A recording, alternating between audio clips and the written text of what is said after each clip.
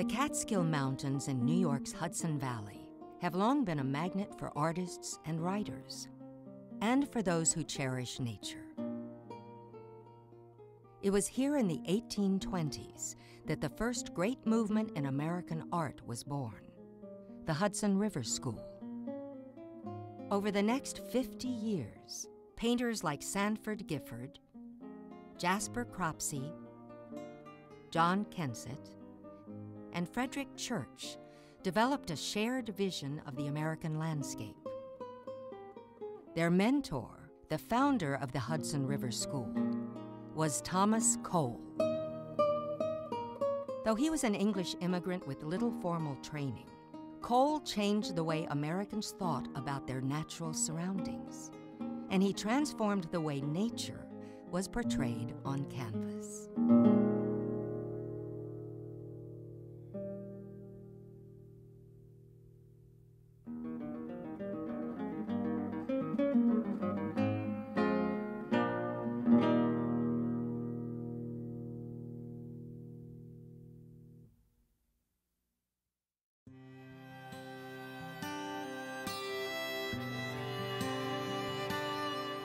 In the early 19th century, the United States was a new nation, still in the process of creating its own unique culture.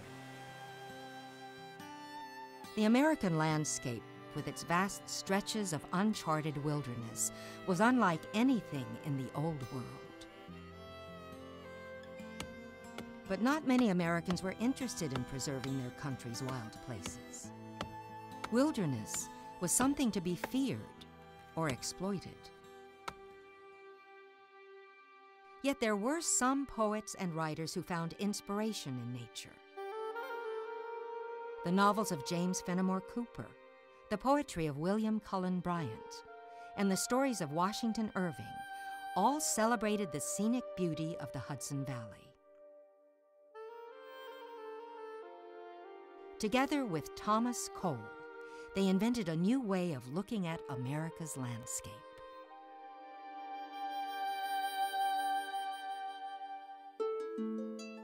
In 1825, Cole was a young artist living in New York City.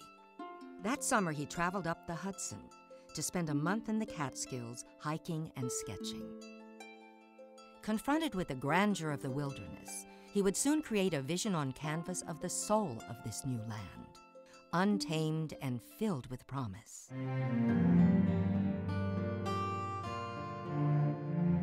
For Cole, the Hudson Valley scenery was majestic, awe inspiring, even terrifying. It perfectly embodied the romantic concept of the sublime.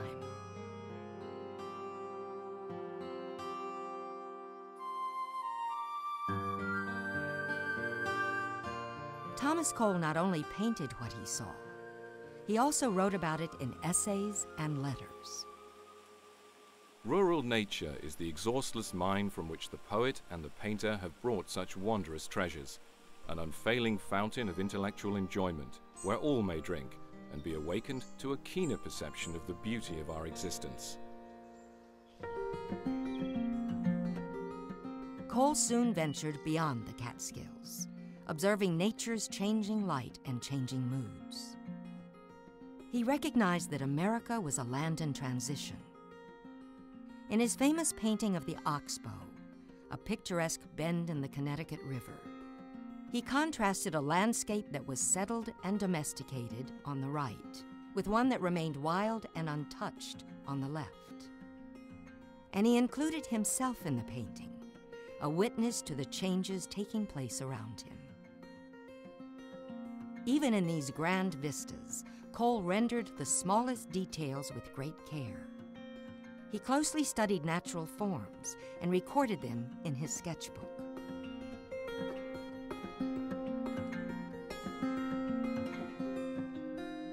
The sketches would later provide raw material for his paintings.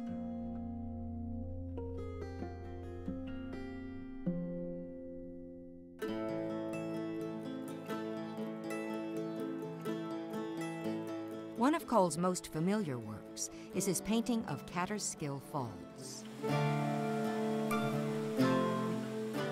This spectacular waterfall, even higher than Niagara, was already a popular tourist site when he first visited in 1825. Cole created a pencil sketch on site, quickly capturing his impression of the scene. During the 1800s, the falls boasted a viewing pavilion and guardrail for tourists who ventured to the top.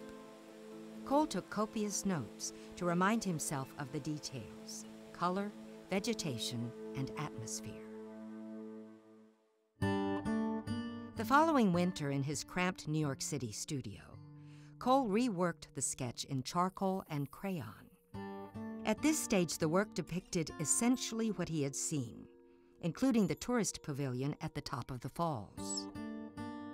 But as he painted the composition in oil on canvas, he made changes, reimagining the scene. He was transforming the real into the ideal. I never succeed in painting scenes, however beautiful, immediately upon returning from them. I must wait for time to draw a veil over the common details, the unessential parts, which shall leave the great features whether the beautiful or the sublime, dominant in the mind. In his finished painting of the falls, Cole removed any signs of the hand of man. The only human presence is a Native American warrior, Cole's way of evoking primal, unspoiled nature. By changing the scene on canvas, Cole was altering reality to seek a higher truth about the sanctity of the natural world. A few years later, in 1829, Thomas Cole, like many young American artists, traveled to Europe to study the old masters and gain new experiences. There he met well established landscape painters like John Constable and J.M.W. Turner. Cole's travels in England and on the continent fired his imagination sparking a new ambition to treat grander subjects. And he incorporated new ideas into his work. But throughout his career, whatever his topic or theme, Cole's emphasis remained the same a vision of nature as an expression of the divine.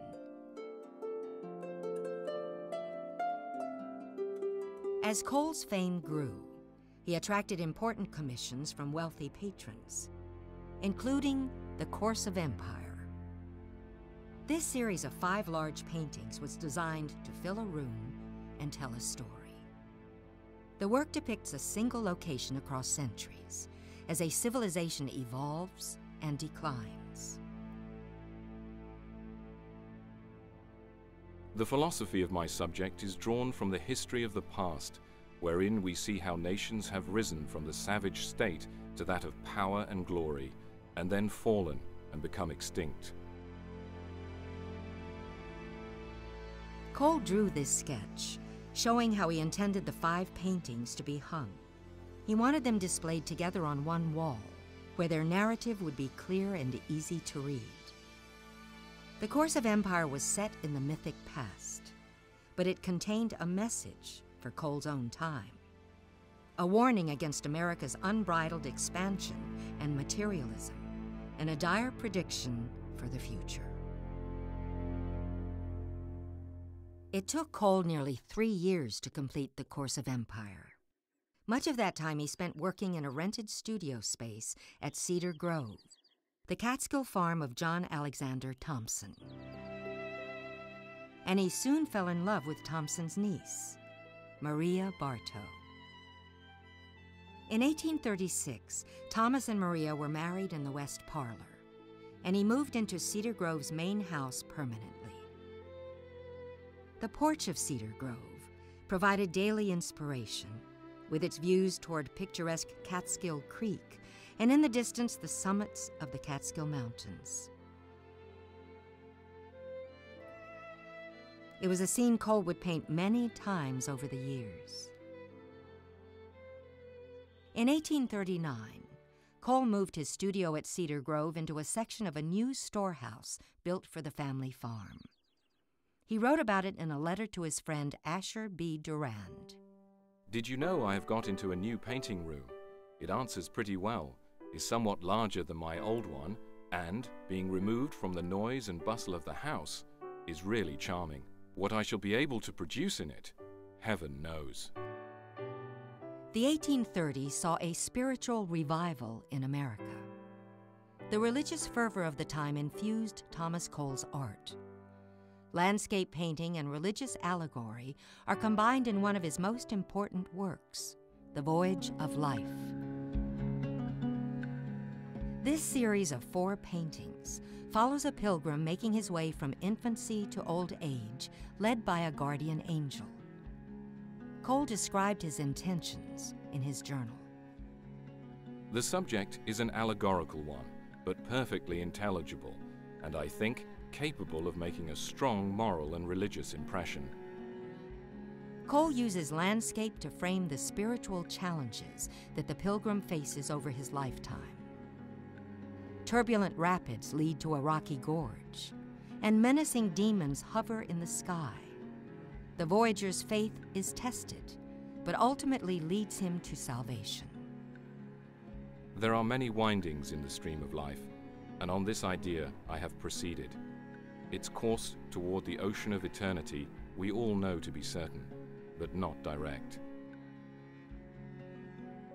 The Voyage of Life was first exhibited in 1840 at the National Academy in New York, where it was hailed by critics and the public it would become Cole's most popular work.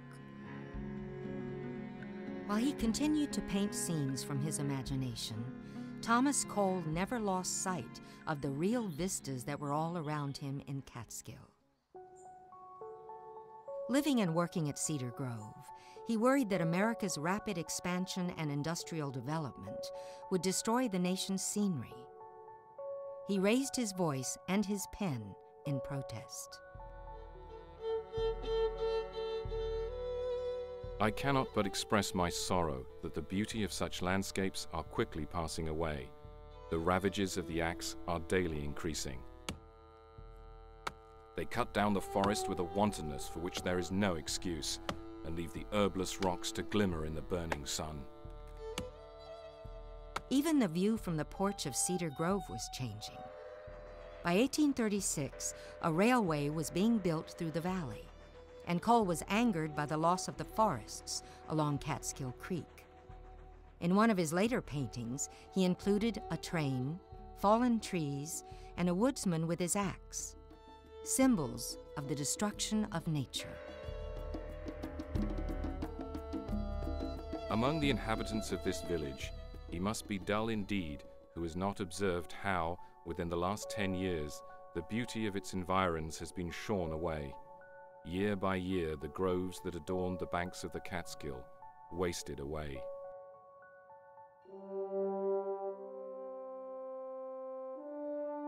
At a time when most saw the wilderness as a source of profit or an obstacle to expansion, Thomas Cole insisted that it was a treasure to be preserved.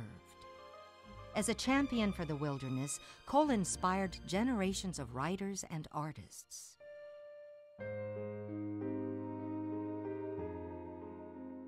After Thomas Cole's death at the age of 47, his good friend Asher B. Durand paid tribute, depicting Cole with the poet William Cullen Bryant in a Catskill setting.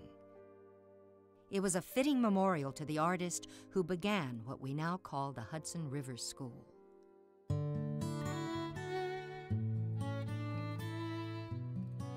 Thomas Cole transformed American landscape painting and he helped to save the American landscape itself.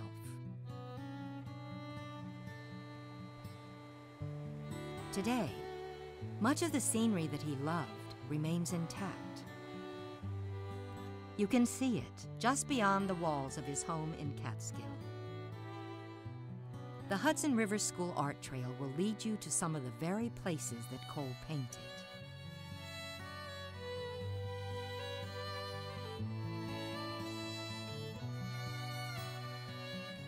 Follow in the footsteps of a pioneering artist, a man who opened our eyes to the beauty of the American landscape. Thomas Cole.